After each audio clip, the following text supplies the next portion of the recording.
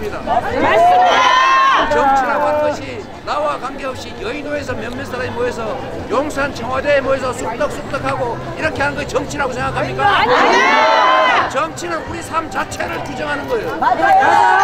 일상 속에 있는 것입니다. 정치인 잘못 뽑아서 정치 잘못되면 우리 삶 자체가 통째로 망가져요. 우리가 겪고 있지 않습니까? 대통령 잘 뽑았는지 모르겠는데 국회의원 잘 뽑아서 그들한테 맡겼는지 모르겠는데 결론은 우리 살림 다 망가지고 우리 자식들 앞으로 살아갈 세상이 캄캄하게 됐어요. 그리고 이 자식을 다시 낳아야 될지 안 낳아야 될지 생각을 하게 됩니다.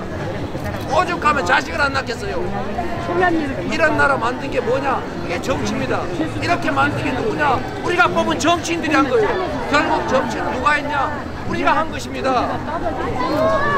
정치는 멀리 떨어진 남의 일이 아니라 내 삶 자체를 통째로 가장 중요한 일입니다. 여러분이 열심히 일하고 투잡, 쓰리잡 뛰고 애들 교육 열심히 시키고 그리고 집 팔아, 논 팔아서 교육시키는 거 중요합니다. 그런데 문제는 기회가 없는 세상이 올 거예요. 소수가 다 독점해버리고 압도적 다수는 기회조차도 가지지 못하는 그런 세상, 그런 세상에서 열심히 해서 실력을 키우면 뭐합니까? 공정한 세상을 만들어야죠. 진짜 공정한 세상. 희망 있는 세상 만들어야죠.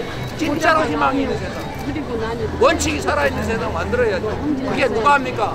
결국 정치인이라는 거고 그 정치인을 뽑는 건 바로 여러분들이십니다. 여러분이 책임지셔야 합니다.